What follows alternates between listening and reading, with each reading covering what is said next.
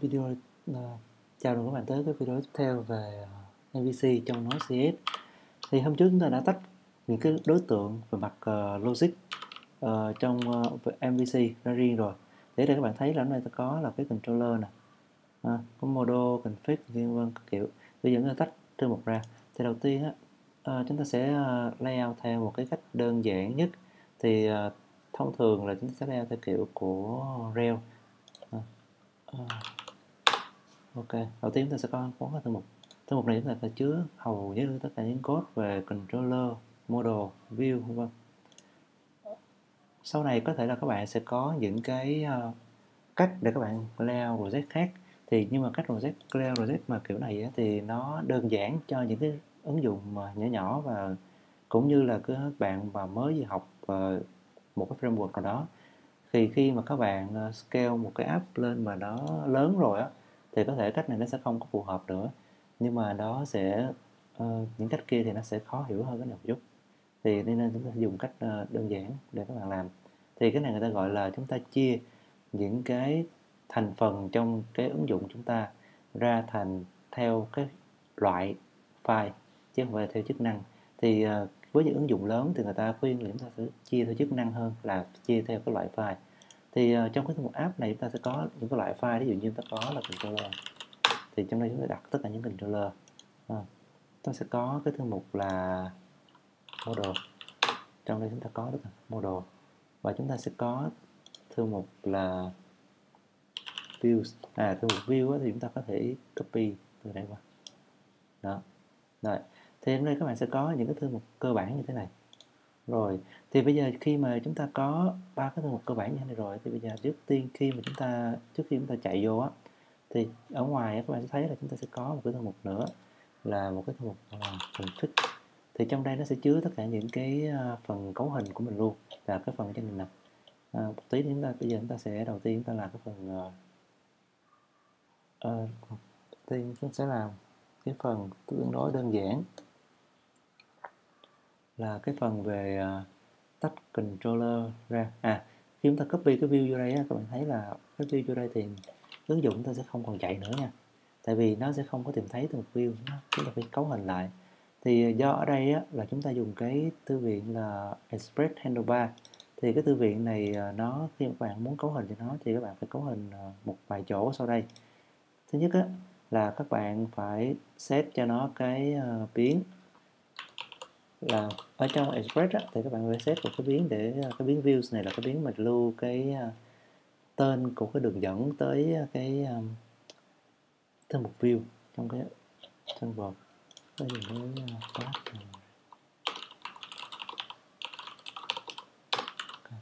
rồi ở đây thì cái path này nó làm gì? À, cái path này chúng ta chuyển cái đường link tương tương đối sang đường link tuyệt đối thôi. Ok thì chúng ta sẽ có là cái thường link của nó nó nằm trong.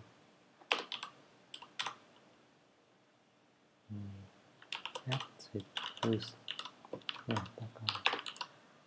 Thì ờ, khi chúng ta chuyển chuyển cái đó xong á thì chúng ta chỉnh thêm hai thứ nữa. Là thì các bạn có thể xem trên cái trang của ờ, uh, Handlebar thì trong trang này các bạn sẽ search cái từ là Ờ, đi đia nè ừ, có cái phần cấu hình của nó đó. Thì ờ, trong cái phần cấu hình của nó các bạn sẽ thấy một hồi các bạn sẽ thấy à,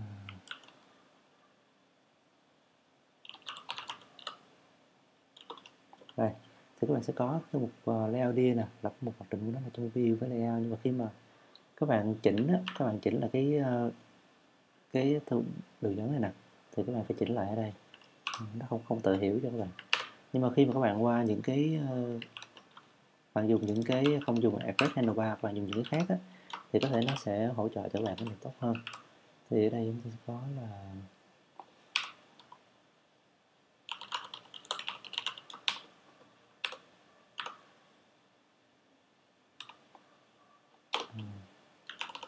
ừ. yes, save và chúng ta do chúng ta có dùng partial nữa. Này luôn.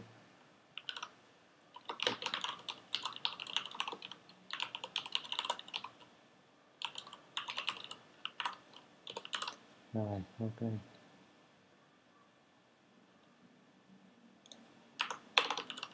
Rồi, chúng ta sẽ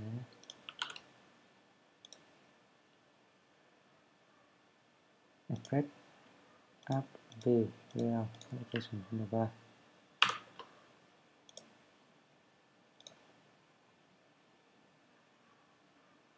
app view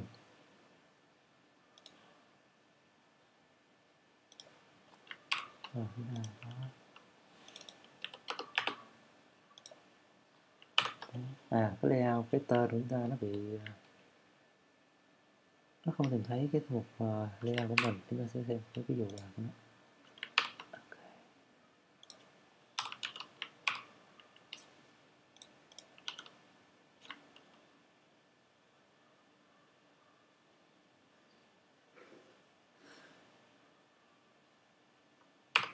à. Nó chữ S ở đây. Rồi ok. Thì các bạn thấy nó chạy bình thường ha.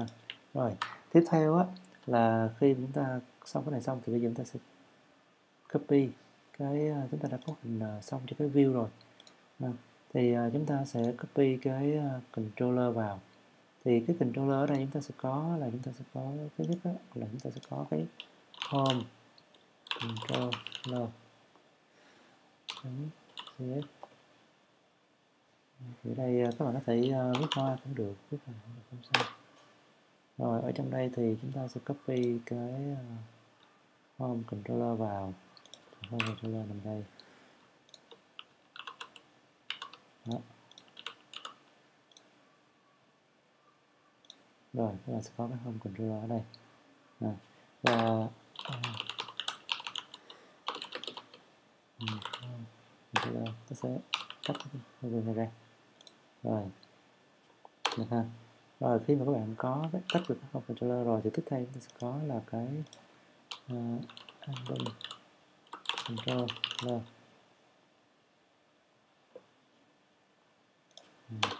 đó các bạn biết hoa hay không là tùy nha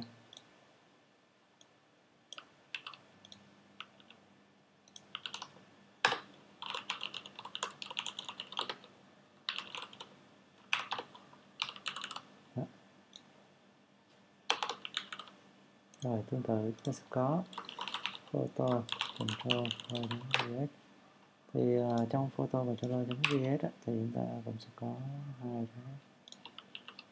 Nó sau đây. Rồi. Module trong export với bằng uh, photo đó. rồi. Tiếp theo chúng ta sẽ có cái bình tắt controller.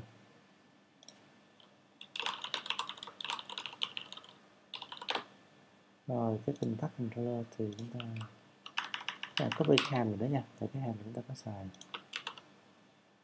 Rồi.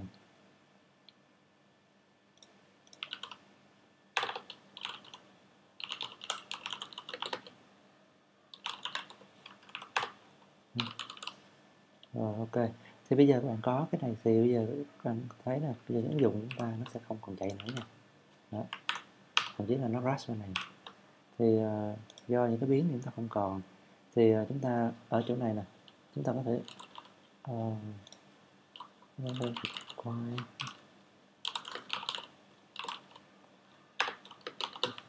Đó. chúng ta có thể uh, đọc cái thư viện uh, ở đây là app save app save control save uh, home controller đó thì ở đây là sẽ có cái home controller mình xài thì trước mắt chúng ta sẽ tạm xóa. Cái ra gì thì các bạn thấy cái ứng dụng là à, nó sẽ chạy lên bình thường rồi nhưng mà những cái mình nó chưa chạy nha. Rồi thì uh, tương tự thì chúng ta sẽ có là chúng ta uh, ta có thể là dùng mới là dùng chúng lấy cái uh, album. Album này thì nó sẽ làm cái gì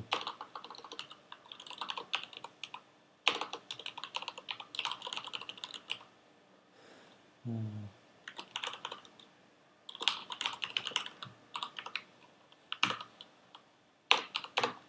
rồi thì các bạn bật này lên. Rồi ok. Rồi các bạn sẽ có uh, các bạn thấy là dường như giả sử các bạn làm 10 controller thì bạn phải import 10 lần thì nó rất là mất thời gian. Cho nên á, là ở đây chúng ta sẽ tạo một cái file và chúng ta tạo một file index. Đây cái file index này á, uh, chúng ta sẽ không file index làm gì? Cho file index này chúng ta sẽ import hết cái vô luôn. Rồi sau đó uh, video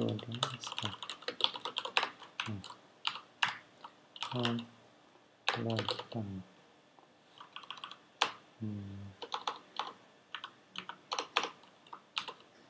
home đó rồi gì albums đó albums controller như vậy đó. Đó. kiểu kiểu này hoặc là các bạn có thể uh, thậm chí các bạn có thể làm một tắt ví dụ như từng tắt thì bạn ừ. vâng, sẽ require trực tiếp. Uhm.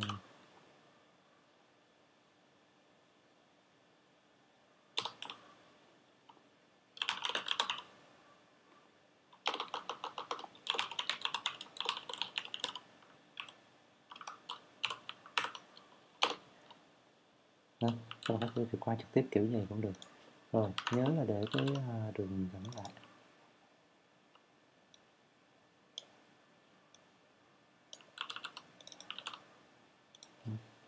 Đâu cái đường dẫn này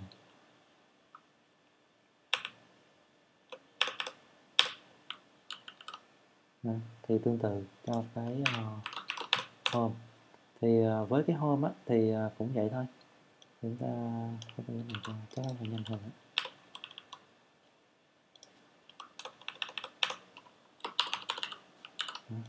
Thì chúng ta không cần cái này. Nữa. đó mình đi. Rồi chúng ta thì ta làm gì? Chúng ta sẽ uh, qua ờ, uh, controller sẽ bằng ờ. uh,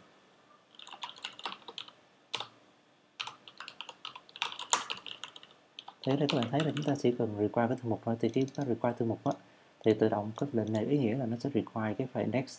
Nếu mà không có file index thì nó sẽ có lỗi ở đây ừ. thì uh, tiếp theo là controller chấm home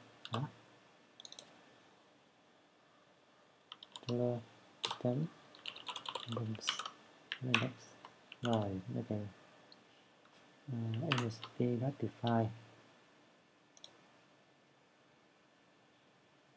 rồi cái image notify thì uh, do cái ờ, uh, model của chúng ta. Thì uh, chúng ta chưa có. Thì nên là chúng ta tắt cái rồi cái image. Nó có cái image nào? Đó, image. Rồi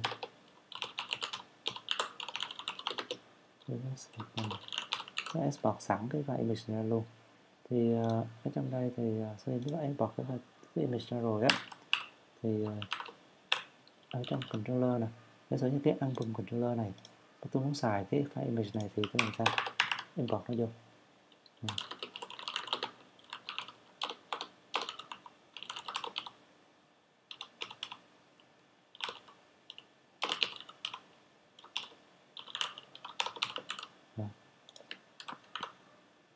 rồi đây được đó à. rồi tiếp theo. Chúng ta sẽ làm uh, cho cái phần còn lại những controller còn lại. Ví dụ như là chúng ta sẽ có chúng ta sẽ bật lên. À, đây. Sẽ là contact nè. Xong rồi tới uh, photo.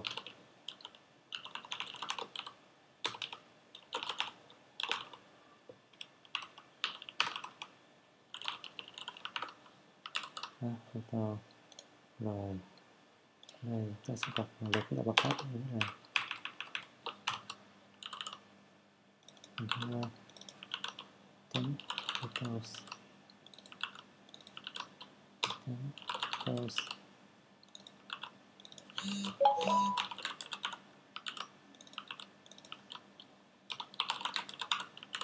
ok đó tôi đến mình sẽ chạy thử. Thì mình sẽ notify trong cái photo này nè. Ừ, photo ta phải đặt thì chưa có đấy thì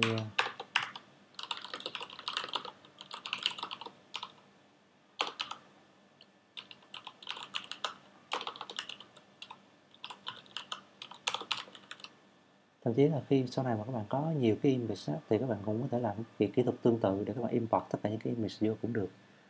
À, rồi ở đây ví dụ như các bạn ờ, sau này á các bạn có thể là các bạn ờ, viết một cái đoạn code ở đây để nó đọc tất cả những cái file có trong cái thư mục controller này và nó tự động nó require vào đây với cái tên giống như luôn. Thì các bạn không cần phải làm bằng tay ở chỗ này nữa. À, nhưng mà cái này các bạn đó là một cái phần ờ, có thể coi như cái phần nâng cao để các bạn mở rộng ra mình tự làm rồi thì bây giờ các bạn đã có là chúng ta đã tách ra được thêm cái phần ờ, là controller model và view. Đó thì ở đây các bạn thấy ờ, đây cái file này chúng ta cũng còn khá là dài. Và ở đây chúng ta tiếp theo chúng ta tách cái mục là config ra. Thì config ấy, chúng ta sẽ để ở đây là index.js thì ở đây chúng ta cần sau đó chúng ta cần import cái file xíu gì thôi.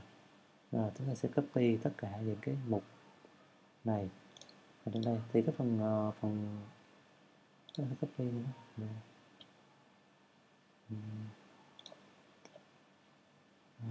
Okay.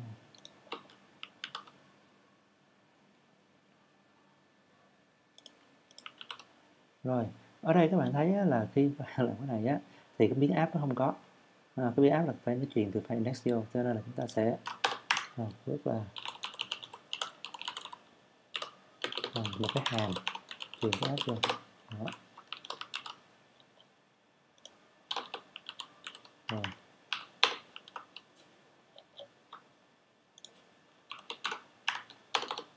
Rồi được các bạn. À, thì à, thậm chí là chúng ta có thể copy luôn cả cái phần à, cấu hình cho cái à, round vào đó luôn.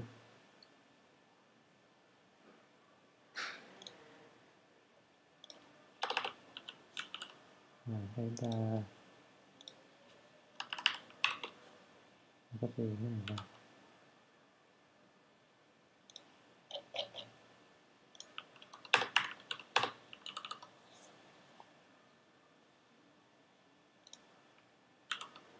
rồi cái app của chúng ta thì khi chúng ta muốn dùng á, thì à, chúng ta sẽ đơn giản là reply cái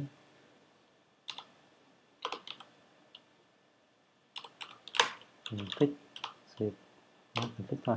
Thì config sẽ trả một cái hàm truyền cho app đi thì trong đây bạn sẽ thấy là cái ờ, uh, index này nó khi mà nó chạy ở đây á thì nó sẽ chạy hết một cái này rồi. Tự động import config hết tất cả các thứ. Rồi cái file là các bạn sẽ đơn giản như vậy thôi các bạn sẽ coi lỗi lỗi gì không à, còn một cái lỗi là spread static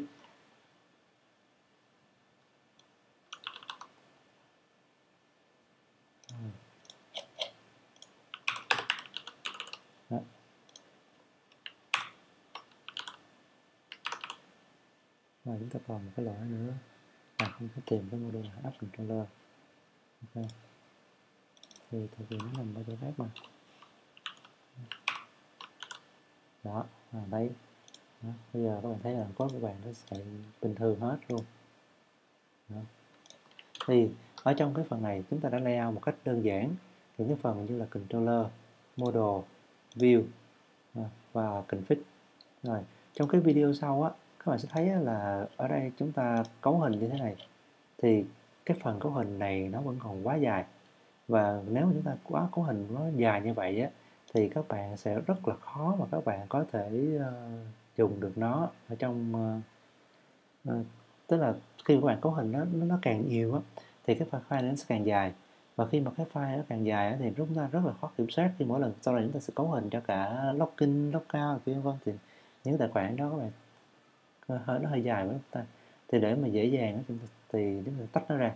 Thì chúng ta tách nó ra trong cái à, phần tiếp theo. Chào các bạn